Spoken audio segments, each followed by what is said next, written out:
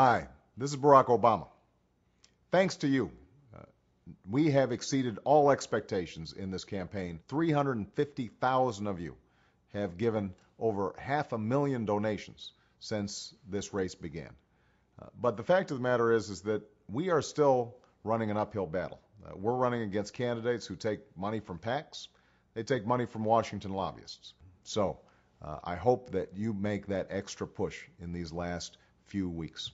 Uh, if you do, uh, then not only are we going to be able to get our message of change out to the country, uh, but we're going to be able to sustain that all throughout the primary and lay the foundation for winning back the White House in November 2008. Uh, I hope you'll join me. With your help, I'm absolutely confident that we can create the kind of America that all of us will be proud of. Bye bye.